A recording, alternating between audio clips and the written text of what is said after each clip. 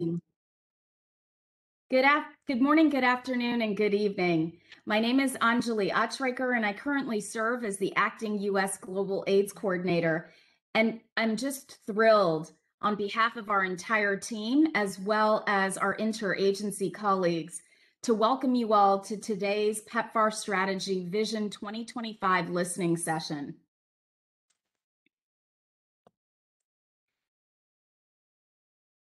We've organized each listening session by stakeholder or constituency as listed here. And again, today we're thrilled to have our partner governments from finance as well as health join us today.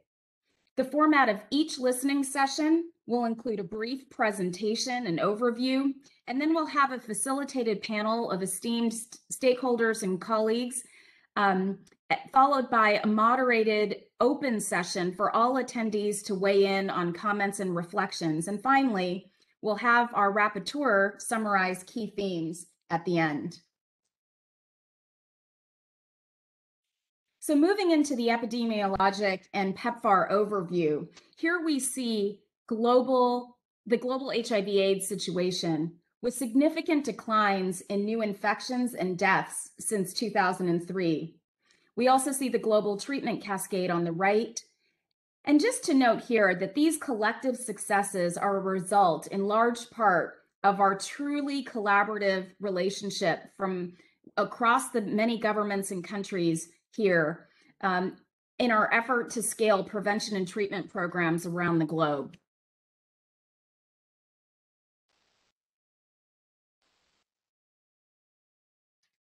Looking regionally, we see Eastern and Southern Africa with the most significant epidemiologic impacts as a result of controlled epidemics in many high burden countries.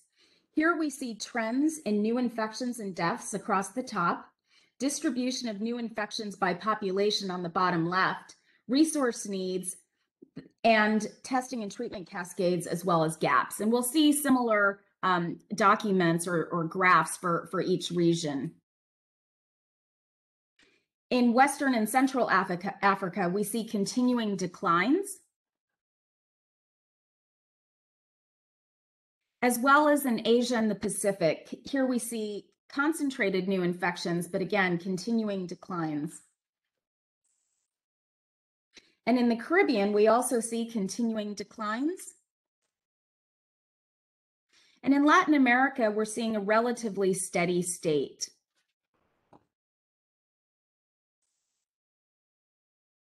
In Eastern Europe and Asia, we see increasing trends in new infections and deaths.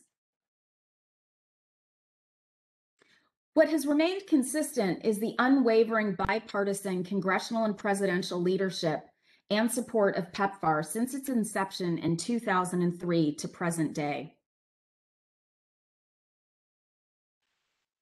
And as you know, PEPFAR provides support in 55 countries, and our investment is aligned to HIV burden of disease.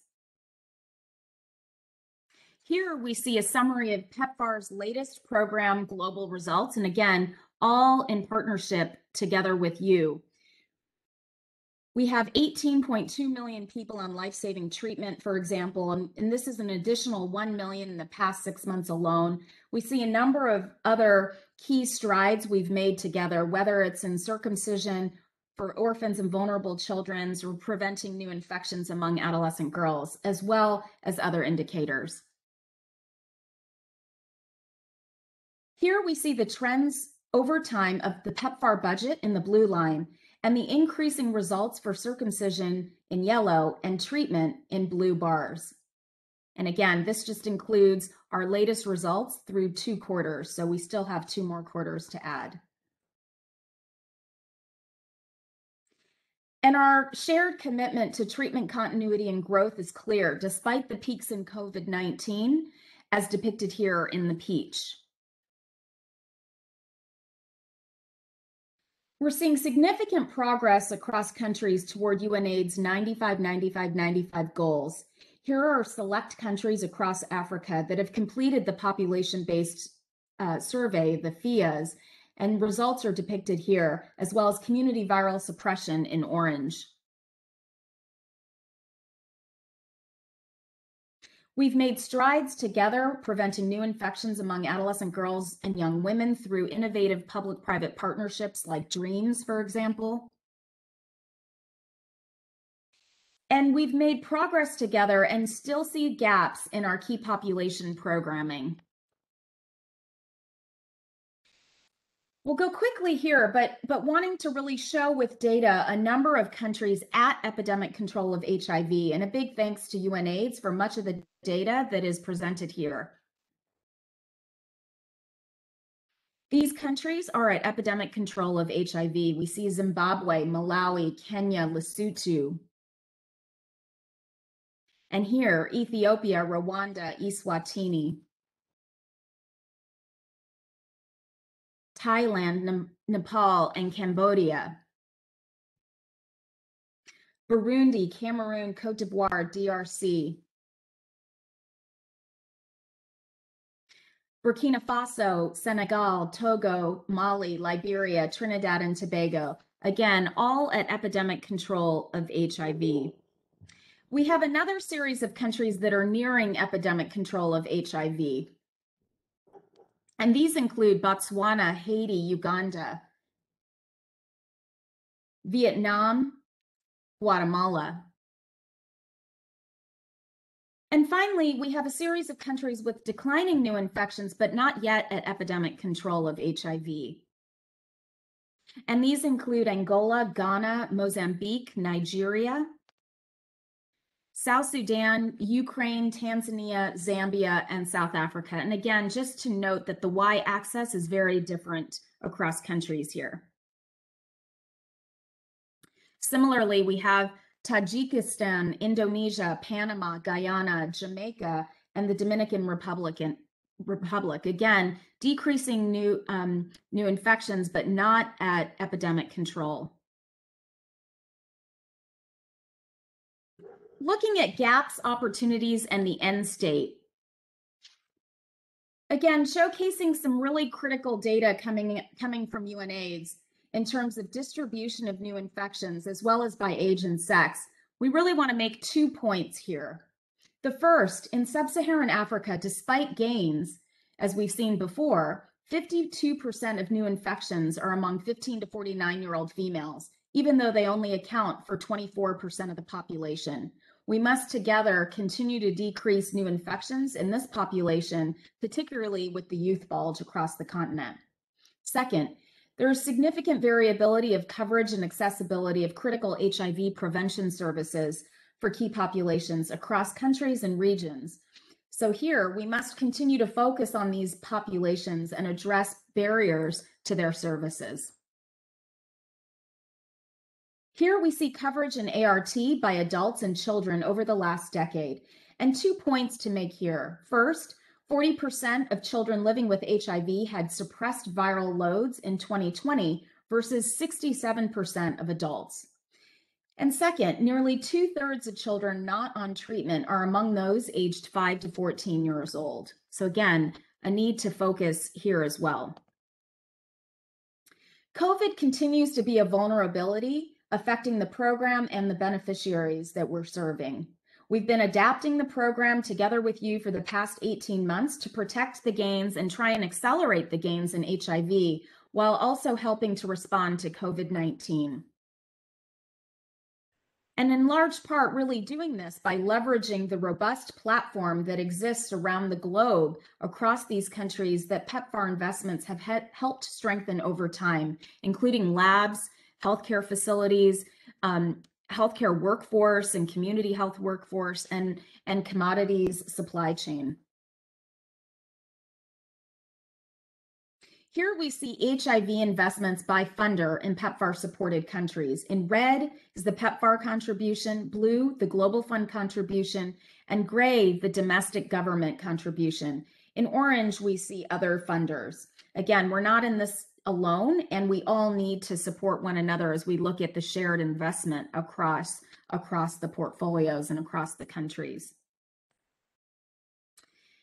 Here we see projected gross domestic product growth versus HIV prevalence and economic problems that persist across the board in countries um, because of COVID 19, particularly in those with high HIV prevalence, as we see in the red dots, as well as high income um, status countries toward the right.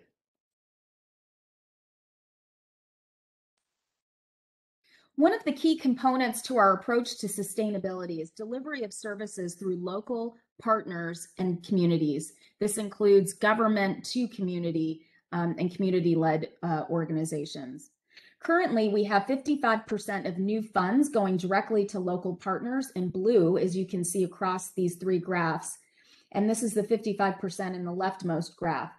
What we see is that it varies by country, as well as by care and treatment, as you can see in the middle, as and prevention on the far right, where we have less than 40% of new funds going to local partners. So in the end, what does sustained response look like? There are several factors, including a whole of domestic approach from community to government, sufficient functional, technical, and managerial capacity to ensure continuity of services, financially sustaining essential services, HIV service delivery integrated into the broader public and private care delivery systems, robust public health response to monitor and track existing and emerging threats, as well as quality assurance to ensure positive health outcomes. With that backdrop, moving to what brings us here today, the discussion around the five-year PEPFAR's five-year strategy and the development. We started developing the strategy with your help since fall of 2020, as bulleted here, and we look forward to continuing the dialogue with you and others and our and our various other stakeholders through these listening sessions and more. These listening sessions that we're conducting this week and into next week will both feed into the strategy itself, as well as the country operational and regional operational planning for 22 guidance that we will be developing later this summer and into the fall, as well as longer term planning for the program as we move forward. The strategy is focused on achieving sustainable, equitable, and resilient control of HIV, moving together to ensure support for global efforts to put countries on track to reach the SDG Goal 3, and also making sure we're closely coordinating with the Global AIDS Strategy 2021 to 2026, recently released by UNAIDS and adopted by the countries, as well as the post 2022 Global Fund Strategy that is in progress.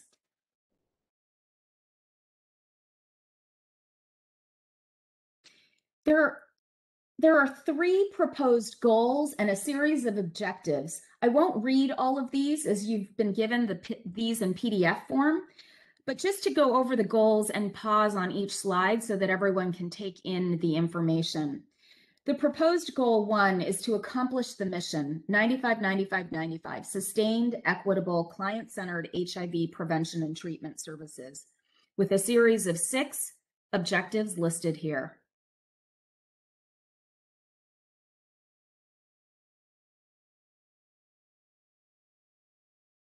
Goal two is to build enduring capabilities, resilient and capacitated country health systems, communities, and local partners, with five proposed objectives listed here.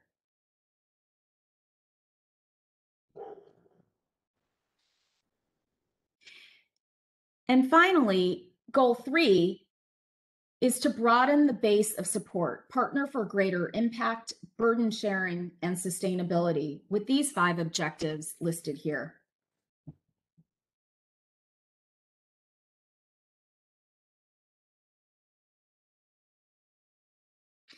Now I'd like to hand it over to um, to our next session, which will be related to the panelists and hearing from from from them, as well as we'll then open it up uh, to all attendees to reflect as well. So without further ado, I'd like to hand it over to Kechi Achebe, followed by Mai Hijazi and Bill Paul, who will introduce the panelists and, and continue to facilitate um, this the session. Over to you, Kechi. Thank you so much, Anjali, and um, good morning, good afternoon, and good evening, everyone. Um, thanks for joining this session. Um, today, I have the privilege of facilitating this panel with my two colleagues, as Anjali has mentioned, Mai Hijazi and Bill Paul. And um, we're privileged to really have a strong panel of key stakeholders and government partners from some of the countries where we implement our PEPFAR programs. Our panel represents the breadth of our programs from sub-Saharan Africa, Asia, and the Caribbean. So please join us in welcoming Dr. Alicia Rob Allen from Jamaica, Dr. Rose Nyirenda from Malawi, Dr. Mark Blecher from South Africa, Dr. Cheewanan from Thailand, Dr. Cordelia from Uganda, and Dr. Mwale from Zambia. So we have a set of questions that we have provided to the panelists. And David, maybe if you can put it in the chat. And um, we going alphabetically by country, I'll ask each panelist to respond to a question. Well, however, please do feel free to respond to all or some of the other questions. So I'm going to start with you, Dr. Alisha. And my question to you is, what does the PEPFAR program look like at sustained epidemic control of HIV what are the main threats to maintaining epidemic control of HIV? Over to you, Dr. Alisha. Good morning, good afternoon, good evening, good night, to everybody. Um, thanks for this opportunity. So, the first thing that I, I know PEPFAR has committed to is ensuring the alignment to the UNAIDS targets so we will reach epidemic control. But when we look at things in terms of implementing at the country level, we have to look at the countries that we are implementing our programs in, or PEPFAR is implementing programs in. Where is the country at in terms of their epidemic? What are the policies that are in place that are going to aid in us attaining the targets for epidemic control? And what are the policies that exist that are not, not in alignment that will aid in our achievement? And then after looking at that, we have to look at the health system that exists and utilizing that health system to ensure that we expand it, improve it, or tailor it so that it will be used towards getting epidemic control. The cultural context of the country has to be put in play because even with set objectives, if it is that we have a population that is not ready to, to look at or to move towards certain strategies, we have to figure out how do we ensure that we are aligned with the cultural context of the country or implement programs to spark behavior change as at the end of the day this is something that will aid the country in the long run. There has to be an understanding that the countries that you implement programs are in, that there is the overlying global threat, that any shake in, if there's a pandemic, as we're seeing with COVID 19, in our small island states, if there is a hurricane or any political uprising, it is going to have an impact on service delivery of what is happening within the country. So you have to understand that there are vulnerabilities that exist and put systems in place so that we can address those vulnerabilities. In addition to that, we have to look at HIV as not just a chronic communicable disease, but also as a social disease. And that health, even though health is where we're targeting, we have to look at the social context that we are we're dealing with. Um, or within Jamaica, as I will use my country, the majority of our persons in with HIV are are socially challenged. They, they are poor. So we have to see how it is that we enable them to ensure that they get to, to epidemic control within their setting and enable them to become key participants in, in their life as, as well as in the response. Additionally, we have to recognize that even in attaining 95, 95, 95, that there is uh, the challenge that we that we have to ensure that we sustain the response. So, what have we implemented? What funding needs to be transferred to the government? What what programs do we need to scale up, scale down, and then ensure that the, the government that would be the persons responsible for maintaining epidemic control are equipped to ensure this this happens. And my last thing is one thing that I, I have admired in terms of how PEPFAR has implemented programs within Jamaica, it's not just at the policy level, it's at every level. It's at service delivery, middle management, at the, the national level, so that it's not just about government to government, but a holistic approach impacting all levels. And when we look at all of those things, we have to ensure that there is a collaborative approach. And I see that as the main thing that will, that is the main threat I see to, to having a sustained HIV response. If we don't have a collaborative approach, the government alongside PEPFAR to ensure that we get to epidemic control, we have our things aligned with our country, country's policies, country's cultural context, and also looking at our sustainability and transition to sustainability so that we can maintain our epidemic control. That's all I have to say for now. Thank you. Thank you so much, Dr. Alisha. That was a um, very important um, reflection that you have provided. Um, really collaborative approach is key.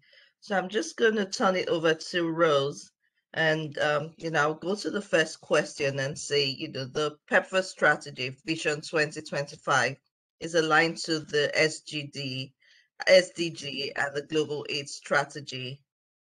Are the draft PEPFAR strategy, which we have shared with you, the goals and objectives, the priority area for the program to address? Are any missing or in need of refinement? Over to you. Thank you, Kechi, for um, uh, for that for that question. Uh, but also let me thank the whole PEPFAR team for giving Malawi the opportunity to participate in this panel.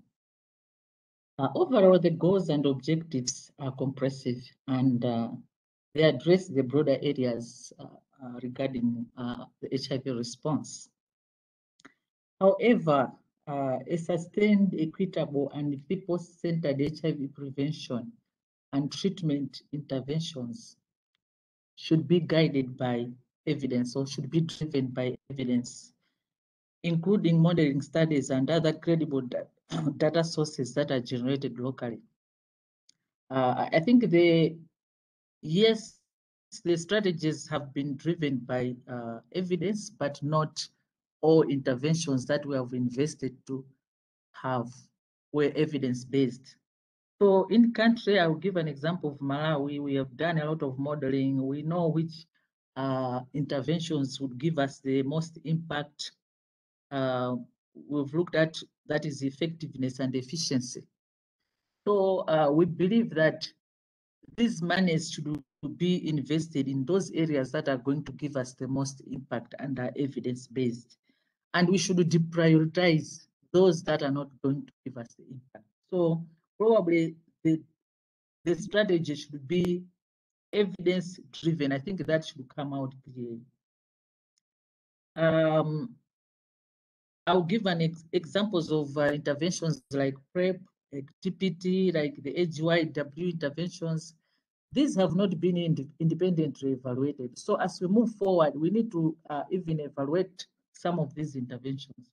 I think for now, injectable PrEP is a very promising uh, intervention, which I think can uh, impact posit positively on uh, uh, issues of adolescent girls and young women, uh, only if we lobby for reduced prices.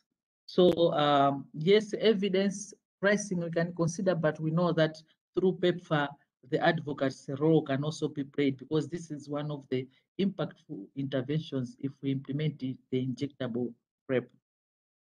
Uh, the second factor, which I think my colleague from uh, uh, my colleague, uh, the previous speaker just uh, uh, alluded to, I think there is needed to consider local context, but also alignment of the strategies to how the government visualizes what a sustainable and equitable resilient uh, uh, uh, epidemic uh, uh, outlook will be.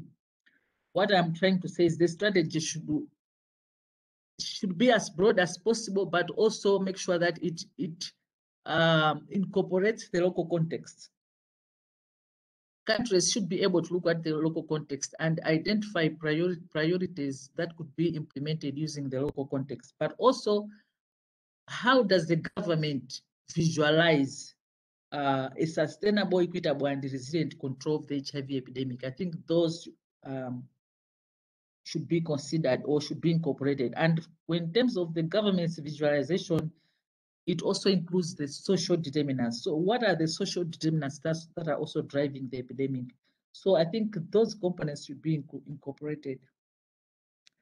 Uh, there's also a mention, I think the, what I've seen is that uh, the global strategy, uh, HIV strategy, but also the um, yeah, the global strategy is focusing on uh, moving towards strengthening community systems, which is good uh, because it is obviously going to fill the gaps where countries have uh, have not done well. So that investment is going to fill those gaps for hard to reach areas and marginalized populations.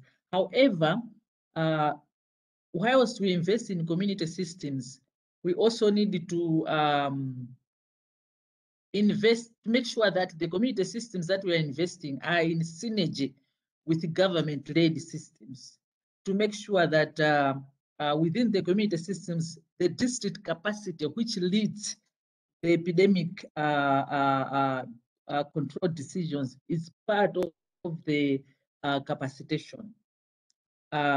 Because community systems cannot function alone without leadership within that district perspective. But also, as we invest in local partners, uh, we should make sure that they do not substitute government-led systems. Because once resources are not available for local partners like NGOs, then you go back to uh, uh, uh, a system whereby whatever was invested could not be sustained because at that point, government may have challenges to take it up. Uh, but also there, we know there are opportunities for public-private partnership. So uh, that is an area where NGOs could also come in, but obviously also that has cost implications, which therefore government can either take up what the uh, NGOs were implementing or they may not. That's why uh, we are saying that local partners should not substitute government. And also, um, the issue of uh, uh, investment in, uh, I think we are key populations have been have come out in most of these strategies, and the way they are defined may not be actually the way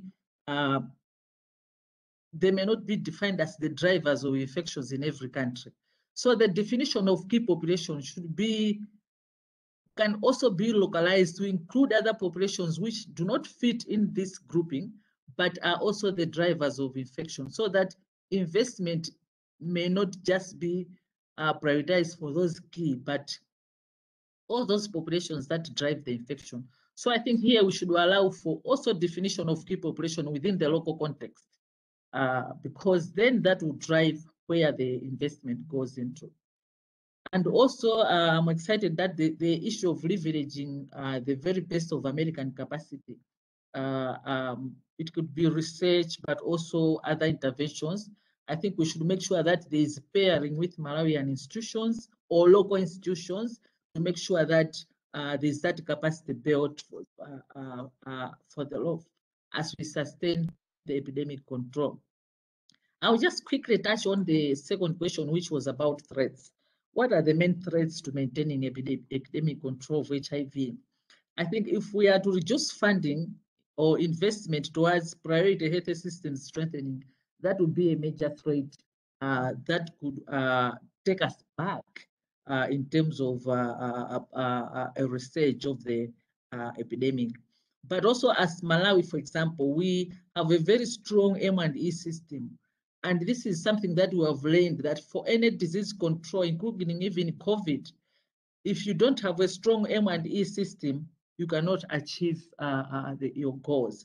So this is an area that if not invested, um, it can be a threat. Integrated service delivery, whereby we integrate uh, across diseases uh, in terms of service delivery, that is also important. Um, for example, we have already seen COVID-19 platforms being used for HIV, but we also need to bring in sexual reproductive health, maternal and child health, NCDs.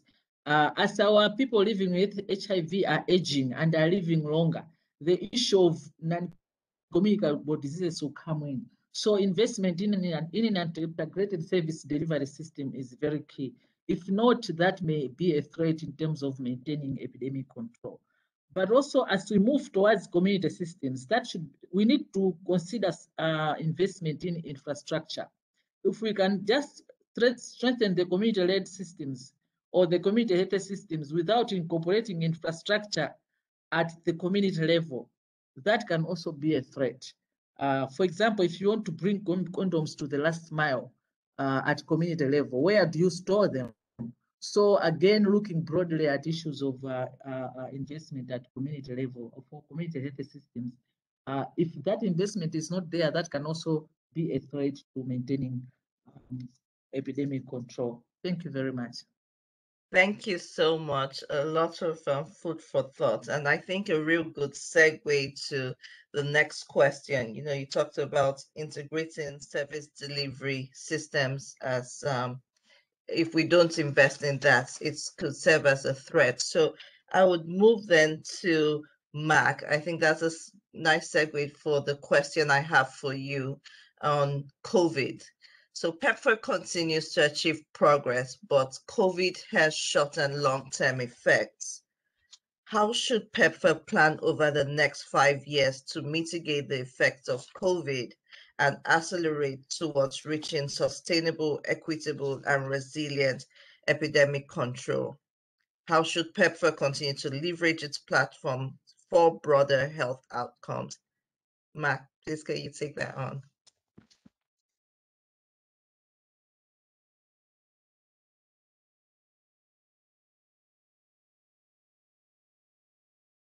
um, somebody can't hear me there? Hi, can you hear me now? Okay. Yes. All right. Um, good morning or good afternoon, uh, colleagues from all these interesting countries around the world. Um, and uh, hi, Alisha. So my uh, my name is Mark Blecher. Um, I work in the Ministry of Finance, the National Treasury in South Africa, where I head the section dealing with health and social services. Um, and I, have worked on HIV for many, many years. But I mean, literally, the last 18 months of COVID has been, I mean, it's been back to the worst days of HIV/AIDS. I mean, when when the when there was like the funerals every weekend for HIV/AIDS, you know, 10, 15, 20 years ago. I mean, this last year has been really, I mean, it's like something we haven't seen for a very, very long time. And, you know, when I look at the, I mean, so, I mean, um, in the last two weeks, for example, um, South African uh, Statistics Agency has put out the recent death data in terms of also, for example, life expectancy. And I think life expectancy in South Africa in these graphs, I mean, the, the graph, which has been growing, I mean, it was last low with HIV AIDS in 2006, and it's dropped to the same extent, you know, now in this last year. And I was looking also at the life expectancy uh, uh, graph that um, CDC put out for the US, also in the last few weeks. And I mean, it's it's it's come down not as much as South Africa, but I mean, you, it's really interesting to see that life expectancy graph in the US drop. So I mean, I just think you know, I mean, I, I thought I would never again in my lifetime see anything like HIV again, and now COVID is massive like that, and it doesn't seem to be going away. You know, soon now with all you know, I mean, we we've been we deep in our third wave and I mean, people are starting to, of course, talk now whether booster doses are needed and this, that, the other. And, um, you know, there's outbreaks, uh, breakthrough infections and this, that, the other. So, I mean, I think the this question about how to bring, you know, how does COVID and HIV, how do they, they interrelate? I, I mean, I suppose to some extent it's on, you know, everybody's minds. But to, to, to my mind, after having worked on both of these for a long time, I mean, I mean, COVID is really big now. I mean, it's massive. It's it's really affecting our lives. I mean, I'm still sitting 14 months at home at, at home today. I'm not even in my normal office. You know, it's like it's just completely changed our whole lives, really. And because of that, also there's a lot of international collaboration and support around COVID. So the question comes then. I mean, for example, South Africa has just got just got five million doses of of PEP of, of, of Pfizer vaccine as a donation, for example, from the U.S. government. South Africa just got like, uh, uh, you know, like um, ten days ago. So, I mean, the question is: is should there be two totally separate programs? One HIV program going through PEPFAR and a totally separate um, COVID program given the massive size that that COVID is at the moment.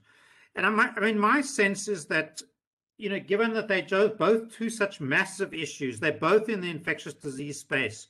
There's so many kind of common aspects of them. My my sense is that over the next year or two, it would be easier to kind of bring them together and so kind of bring them together, run them almost together, almost as one program or one program with subsections or something like that.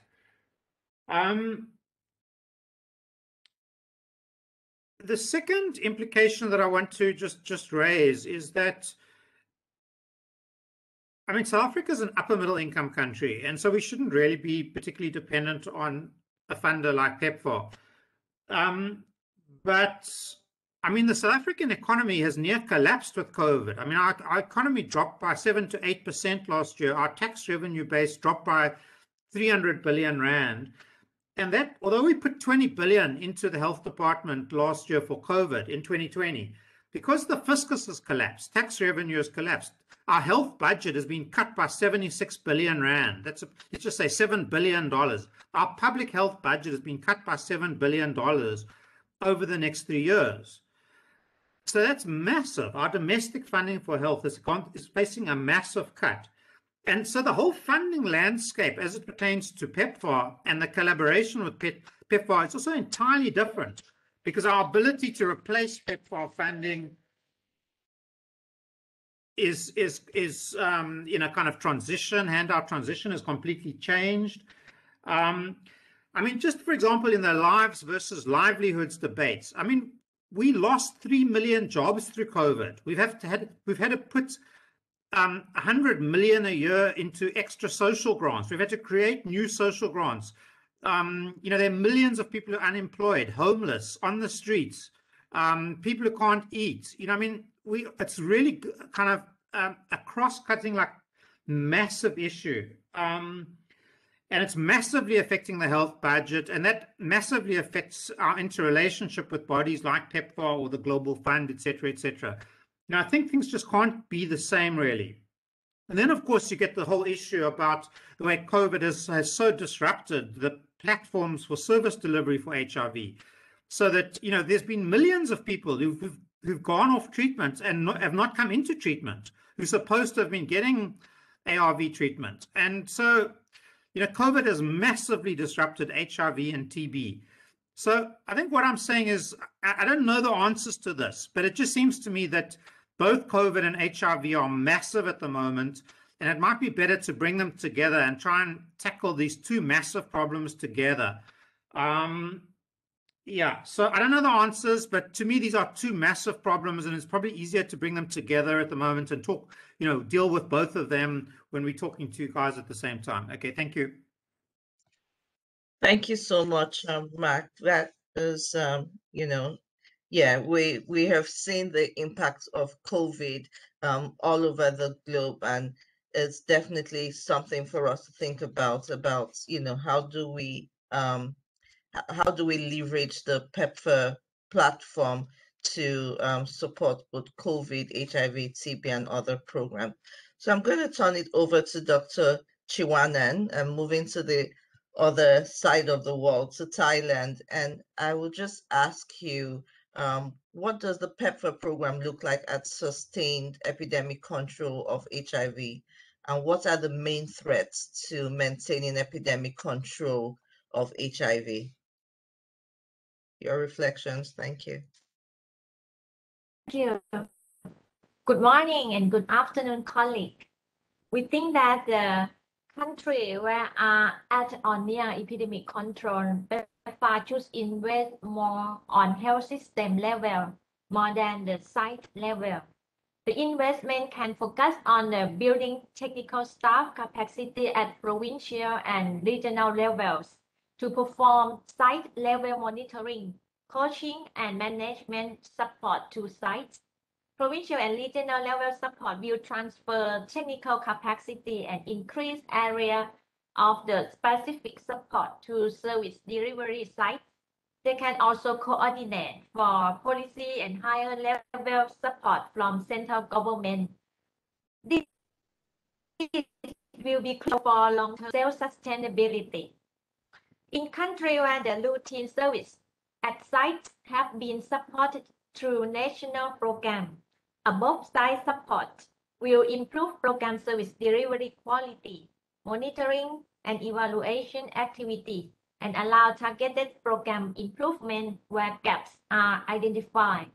It will broaden impact of health outcomes at multi-service delivery sites rather than just few PEPFAR supported sites. The second is the PEPFAR may provide more cross-border or and technical exchange programs among regional countries to share lessons learned and maximize disease control and prevention programs across nations. The third is the harmonizing M&E tools and definition of indicators from multi-donors and countries, such as the UNAIDS Global Fund or other global organizations. This minimize things, such as uh, use the same reporting system and reporting definition in order not to create multiple data systems. For main threats are the first one is the other comorbidity and mortality, such as the STI that is increasing epidemic and hepatitis or non-communicable disease. This disease increased death rate in HIV patients. If we focus on integration and management of these comorbidity or mortality can support the maintenance of HIV epidemic control. The second threat is the include the other emerging disease outbreak pandemic. PEPFAR fund should allow contingency plan and budget to mitigate other health threats. Unlock PEPFAR fund from only HIV/AIDS can improve overall health outcome of people living with HIV. Thank you.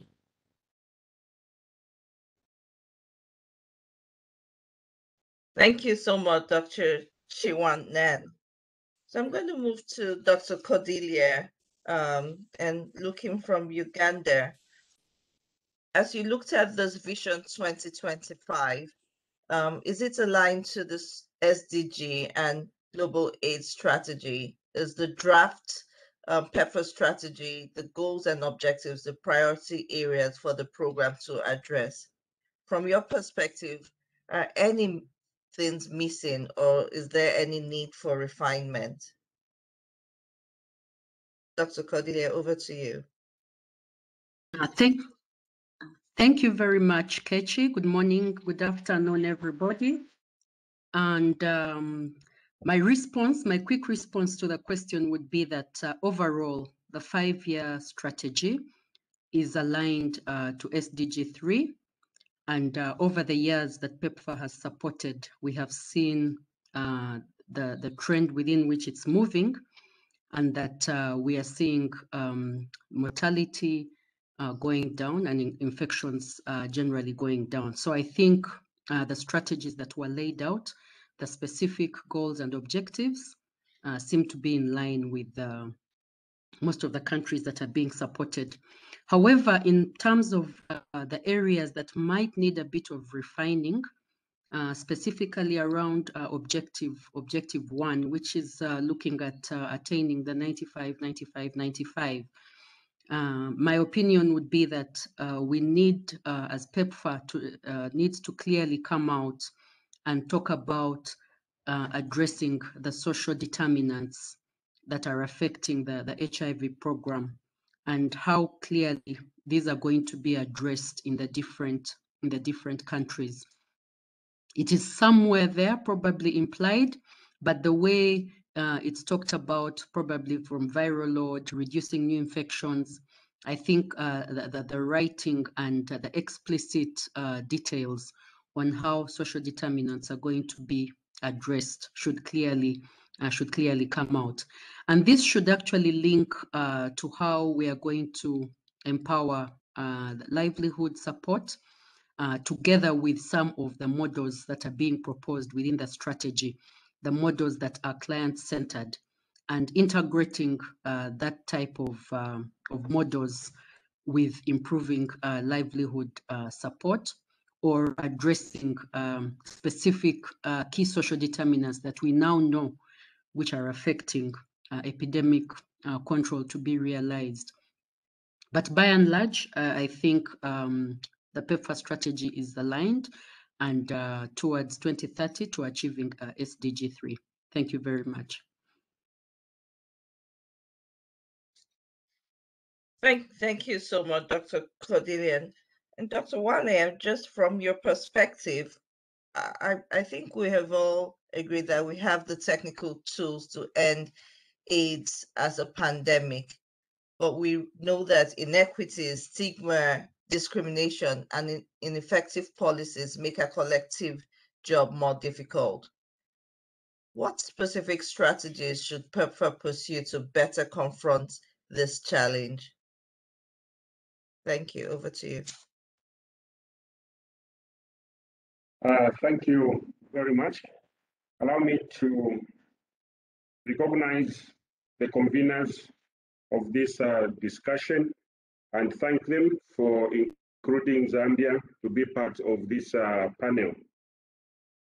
We feel that we need to, first and foremost, start by having strategies that aim at reducing social barriers we need to think of ways and means of empowering communities of people living with HIV and AIDS.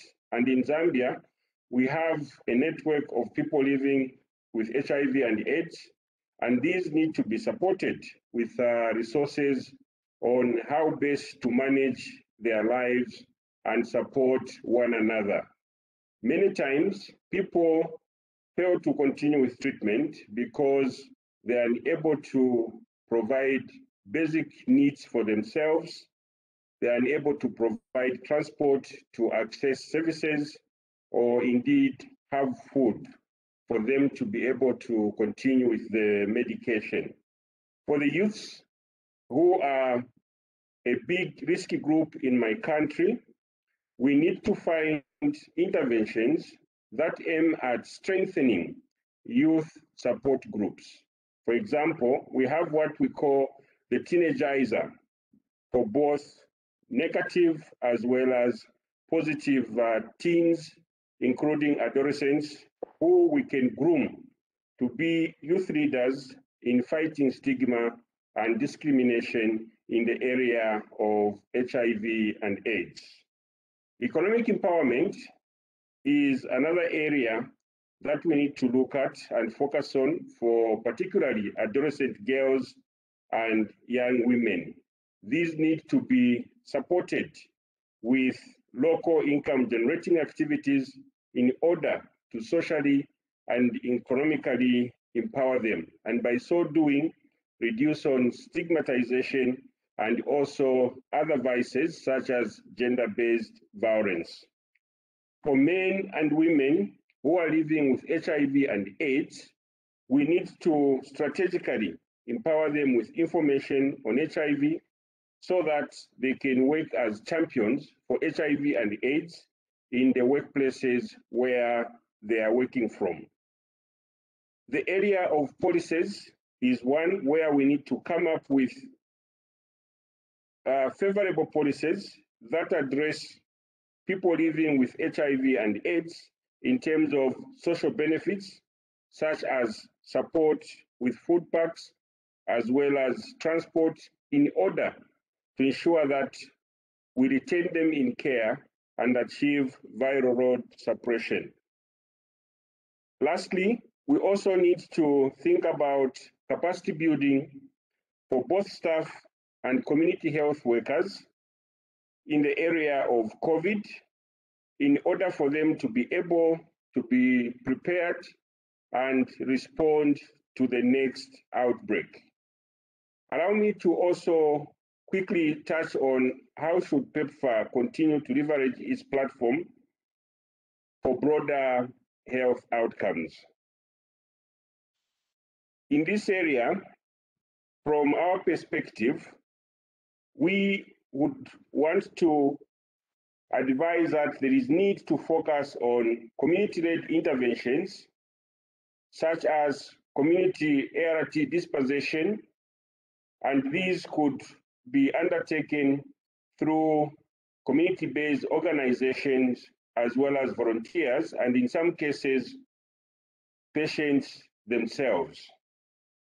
We also need to continue to provide and improve demand creation in the area of COVID vaccination to target the communities or our people who are living with HIV and AIDS. We also need to heighten the integration of HIV and AIDS services with outreach services such as PMTCT as well as maternal child health services. Lastly, we also need to empower our facilities so that we move towards provision of virtual capacity building programs and mentorship through provision of ICT equipment in all our facilities. Thank you. Thank you so much, Dr. Mwale. That's, that's a really specific strategies that we think we should pursue, and I really agree with you. Um, I'm going to turn it back to other panel members, and I would um, go to you, Dr. Alisha. You know, when Dr. Mark was speaking about the impact of COVID, you know, I think he really gave us a good picture of the impact in sub Saharan Africa.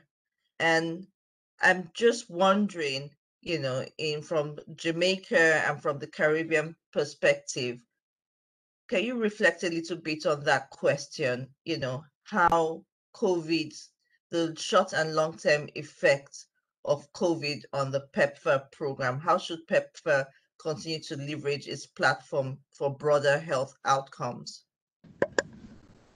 So, when we look at um, at the short term and long term effect of COVID 19, we have to look at the health systems that we have in place within countries. How is it we strengthen the health systems to respond to both COVID and HIV? Because in as it stands now, the focus is on COVID within the Jamaican setting and in all international countries, as that is the driving force for mortality at this time? And how do we use COVID in a sense to ensure that we have our short term goals at this point in time set towards managing both pandemics? We have to join both pandemics and a response to both pandemics because that is how we will ensure that that HIV will get the attention it needs within the COVID 19 pandemic as it stands. The five year strat- set of strategies set out, I think we need to look at it and break it up into what is attainable within a global emergency versus what will be challenging to attain in terms of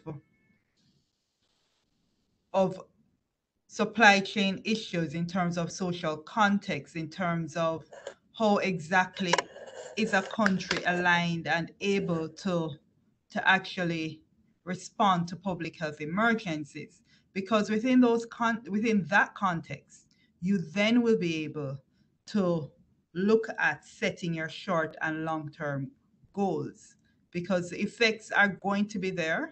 Um, we, we don't know exactly how large scale it will be because if you look at the, the COVID 19 pandemic, I don't think many of us thought that we'd be sitting here with masks and um, not being able to do many things as we would have in response to one one um one viral illness.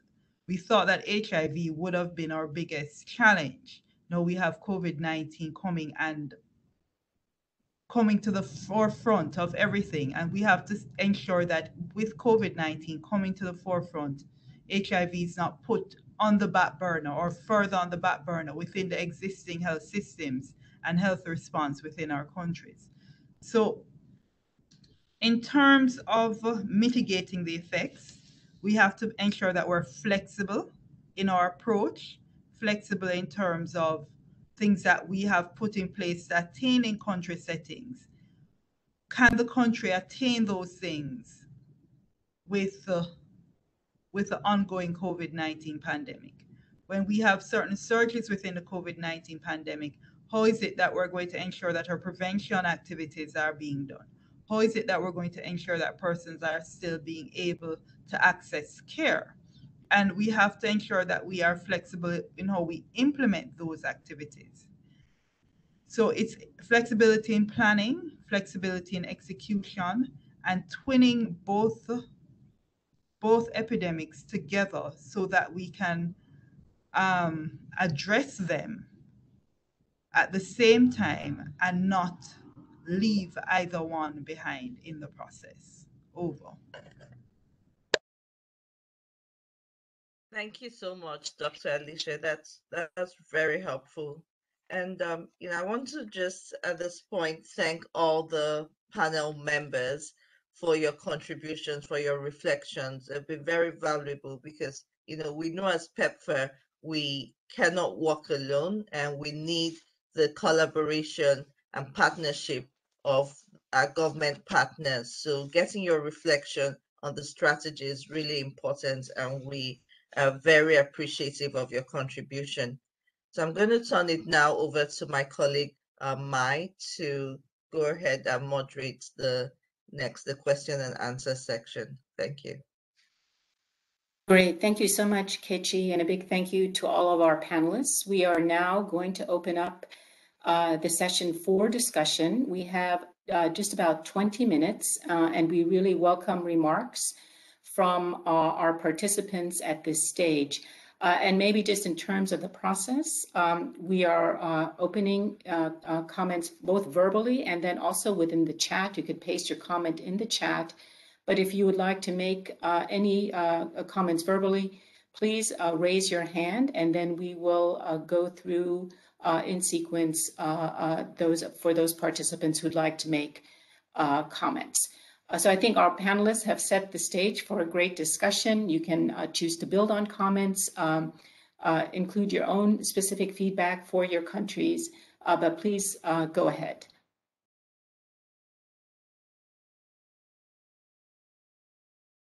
So just confirming, uh, maybe David, also with you on your screen that we are not seeing any raised hands at this stage. do we have any raised hands? Thank you. Uh, George, we have a raised hand. You can go ahead. Great, thank you.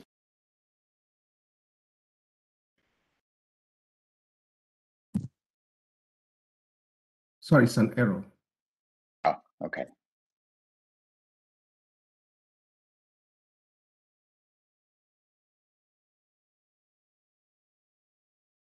All right.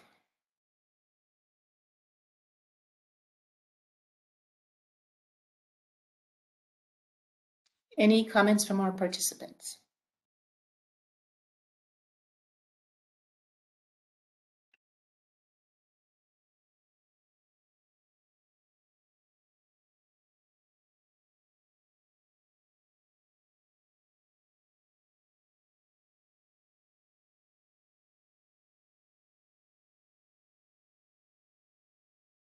I, I see a comment from Antonio Konji, Kenya. Maybe he might want to read it out. Okay, uh, please go ahead. sure. Um, thank you very much uh, uh, for this opportunity and for um, moderating this session. Uh, I think key for me, um, what I have noted is just how much pressure, um, especially COVID has put on existing health infrastructure and health personnel. So much so that countries that already were um, teetering on the brink of collapsing under the impact of um, of COVID have faced a rough time, and this isn't an emergency that they expected would continue for a year plus. Um, so thank you very much for um, for having this session so we can make our, our, presentations. What there seems, what is happening right now is because of the shortage of staff um, and even with the community health workers who are uh, pretty much overwhelmed, at least in the areas that we work in. Um, for example, in Pisco, Kenya, they will need to put in um, resources um, because we realize that infrastructure might not necessarily expand as fast as uh, community health workers might need. So our best bet will be to continue to support health workers, but also generate um, another generation of community health workers who can support in the instances where we have similar epidemics. But remember, when we have such epidemics, it also takes away from HIV and AIDS intervention. So, which means we, we lost out on trained community health workers who have gone into emergency interventions for, for COVID. Um, so, the strategy should start looking at how um, to make sure that other epidemics uh, or pandemics such as COVID do not take away from the fight against HIV. And mostly people become complacent when you feel like you've probably figured out HIV and AIDS interventions and and and therefore we should let you know other things take their course. But the reality is we are not yet out of the woods with HIV. Um, and the fear that any other new epidemics might take away from existing infrastructure, um, personnel, and and financing is really a threat that we must watch out for. And we must also not forget that while some countries uh, listen to a, lot of examples from South Africa and just how much resources they have, while some countries might have an easier time transitioning uh, from PEPFAR funding or US government funding to their uh, country funding, some countries will still be much, much slower um, in, in, in allocating budgets uh, for health and especially HIV and AIDS. So our strategies should focus on on improving on what we already have and making sure that we don't lose out in the little that we have in terms of resources, financial, technical, infrastructural, and all that. Thank you very much. Great. Thank you so much, uh, Anthony, for those comments. And I think very much uh, uh, highlighting some issues for Kenya and the challenges that we've experienced over the past uh, year and a half now, uh, both in terms of sustaining services and planning going forward for uh, addressing both epidemics. Um, okay, let's see if we have any other questions from our participants.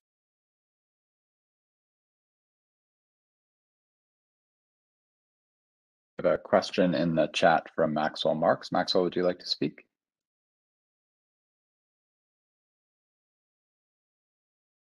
Sure. Um, thank you very much, uh, Anjali and the team, um, and also the countries that have actually made the presentation this afternoon for us, and morning for you all. Um, I think, as you heard from uh, Okonji, the the interesting part is that we have uh, all the countries talking about uh, the whole issue around um, transitions, and so I'm wondering how we could uh, really help articulate and work with count uh, with different countries and host governments in really making sure that we do capture those processes within our strategic plan because those conversations, as we all know, are not going to happen overnight. Uh, the elections happening, the changes in regime, uh, but we know the technocrats do remain still. But then again, we've heard from different countries in different conversations, even through the SFI, that uh, we need to stagger these conversations over time. It needs to engage not only the government, uh, it has to engage different stakeholders, development partners, and more so the community. So the question is, how do we um, get guidance from the countries on ways to better engage the PEPFAR teams with some clear expectations from their ends and perhaps different timelines, but in terms of just maybe a standardized approach um, that involves not only the Ministry of Health, we have Treasury and other even county governments in different countries where we have devolution as a system of governance. So for me, I think it's critical to hear from the stakeholders how we as PEPFAR can be better placed to support them in our transition engagements over the period of time and how that could be reflected in our document going forward. And finally, two key elements that I think we need to also emphasize is the Global Fund has made some progress and other countries have done some good work in aligning data presentation budgeting processes with the different countries fiscal policy and budgeting timelines. Uh, for pepfar we do our uh, you know with the us government we have october 1 to september. And so that always remains a challenge in terms of how we align our resources which are availed through uh, the congress but also how do we then better align our data reporting. So the ports do occur different times. Uh, countries have different uh, uh, quarterly meetings on presenting national data and different stages of uh, progress reports. So how do we align our fiscal and program data uh, processes uh, within this new strategy and how do we work towards a common timeline that would then put us in sync with the country and host governments? Over. Great. Thank you so much, Maxwell, uh, for, for those comments. Okay, I see we have a hand up from uh, Tapiwa Tarambiswa. Please go ahead. All right. Thank you so much, um, Mai and Anjali and the team. Um, I'm Tapiwa from the Minister of Health, Lesotho. And just sort of to pick up on Max's point, um, how do we um, work together to begin the discussion on transition, which is very important. I think with our PEPFAR team in Lesotho, we've done quite a lot of um, commendable work with them. Um, but now I think it's time we start shifting the gear towards the discussion on transition. Um, the governance end of it. Um, how do we set up technical working group or committees that are, you know, assigned to sort of discuss issues of transition, be it service delivery, human resource for health, um, health information systems, etc.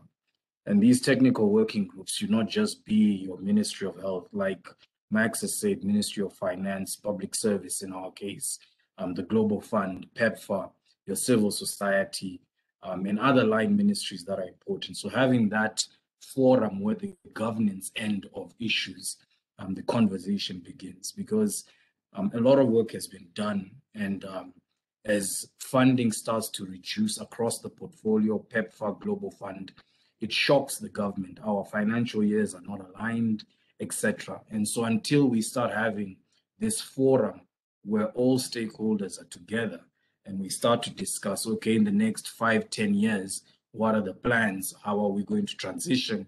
What is the model going to look like, etc.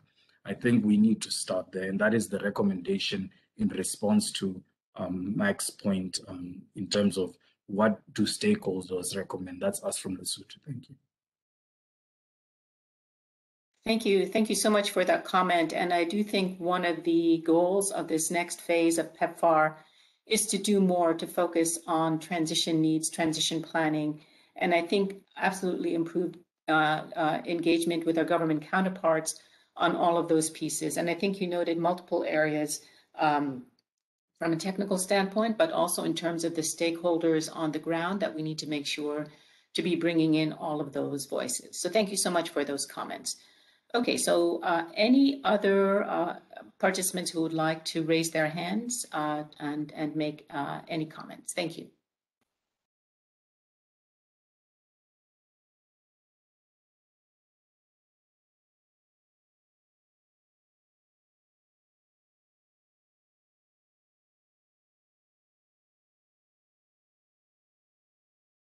And are there any additional chats in the chat box that we may have missed? Uh, nothing in the chat, Mai. Nothing in the chat. Okay. So we have uh, quite a few participants on the line. Uh, so maybe just want to encourage uh, folks to speak up if they'd like to say something.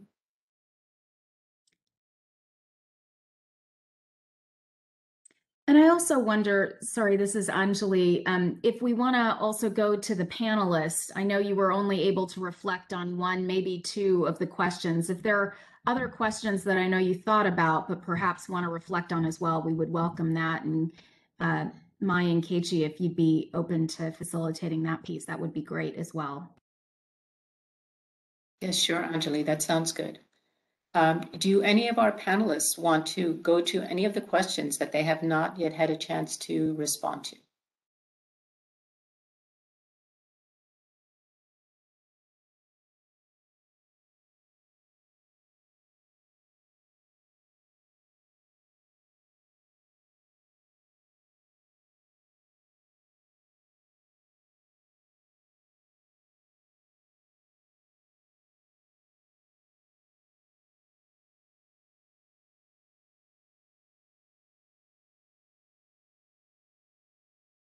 All right, I'm not seeing uh, any raised hands. Uh, Kechi, anything in the chat? Um, I don't want to put the panelists on the hotspot, but you know, I think Max um, raised some points um, for the panelists, and I was just wondering, you know, if they had some reflections on what he had um, asked.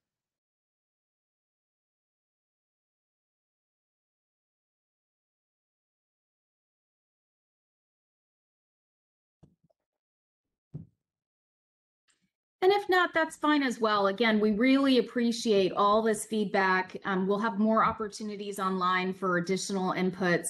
But I wonder then, um, Bill, if you'd like to just summarize some of the key themes that we've heard uh, for folks and um, and close us out. All right. Thank you, Anjali. Good morning, good afternoon, good evening, everyone. Um, it's really uh, a lot of of a lot of really important and insightful points, and I'm really uh, glad to be part of this conversation. Um, my job is really to try to summarize some some high points, uh, not to summarize everything. So if I missed something, uh, just be reassured that it will be noticed because the entire session's being recorded as well as in the chat box. And and um, for, for someone who has ideas after the end of this session, there will be other opportunities to um, to to contribute to um, to strengthen the five-year strategy. But um, I'm personally grateful to the panelists and the and the facilitators this morning because it was really really rich and um, and and a lot of important points were made. I'm going to do my best to touch on some high points. Uh, we started with Dr. Alicia Rob Allen from Jamaica and, and really uh, a strong focus on the country context of each of our, um, each of the countries where we're achieving epidemic control, uh, policies, culture, vulnerabilities, social context, um, but also the importance of the client being a key participant in the response. Um, the, the the attention to a holistic approach and a collaborative approach um, really came through in those comments, and I thought that was a those were very important. Dr. Dr. Rose, um, uh, the key observations about the strategy. One is that we really need to hold ourselves accountable for evidence-based and evidence-driven strategies including um, really relying on, on local evidence uh, to, to drive the interventions that, that, we include in the strategy. Um, also important was the local context. And, and as we um, engage communities, empower communities, view the community as pivotal in the response, to hold ourselves accountable to the government and how the government visualizes the sustained epidemic control um, this includes attending to social determinants. Um, uh, strengthening community systems uh, as and local partners and public-private partnerships again needs to fit into a to an overall um, government vision and visualization of, of how sustained epi- epidemic control uh, looks. And key populations, um, this is uh, an important observation that we define key populations the same across all countries, but some countries have additional highly vulnerable populations that really need that extra um, attention uh, to the determinants of uh, the and barriers to their health uh, and their success in, in, in epidemic control. Threats to epidemic control, um, decrease in funding or really spreading the funding in a way that loses focus. Um, really making sure that we maintain a, a, a, monitoring and evaluation system and view this as a public health e effort. Um, uh, integrated service delivery, um, and I think this is a key point that we've been we've been uh, uh, talking about quite a bit. Is as people live with HIV live longer, we need to address the comorbidities and the infrastructure required to serve them um, and, and keep them not only alive from HIV standpoint, but but healthy. Um, Mark from South Africa, really uh, uh, important observations about the, the massive impact of COVID and how it is uh, really important to consider bringing the HIV response and the COVID response into the same conversation because of the of the of the massive um, impact of of COVID. Um, Dr. Cheewanan from Thailand, uh, some really key points. One was really as we get closer to epidemic control, moving the focus from the sites to the systems that support the sites with coordination, oversight, monitoring, and evaluation, um, and harmonizing our indicators and tools across donors, uh, as well as addressing comorbidities among HIV. Um, again, I think a, a, recurring theme is, is to be able in the HIV response to address other health emergencies. Um, Dr. Cordelia, um, really important point that we that we are consistent about language and intention with regard to the social determinants of health so that in our in our strategy we imply it but um, it's important to be explicit and to address issues like livelihood support and, um, and to really design our strategy to impact the social determinants. And then Dr. Mwale um, really addressing inequities and having strategies that reduce social barriers, including empowering communities, but also really addressing the building blocks of economic security um, and economic empowerment. I have more more notes. There are at least a couple of note takers, um, and as I said, there's there's um there's there's recording. So I'm sure that I've I've, I've missed some things, but I just wanted to highlight those um, uh, those pieces because I, because they were they stood out to me as a as an individual here at S/GAC. So um, thank you all for participating. Um, thank you for listening. Thank you for engaging on this high, really important strategy. Uh, thank you for your continued partnership in the in in, in PEPFAR. And do I turn it back over to somebody? Kechi, you No, want to you want to sign us out, Kechi? Just to join my thanks, I think you've said it's all, Bill. Um, thank you to everyone, and thank you to our rich um, feedback, the rich feedback we got from our panelists and others on the the participants that also had um, to share with us. And um, uh, that's that will be my concluding remarks. Thank you, and please continue to send us your feedback by email.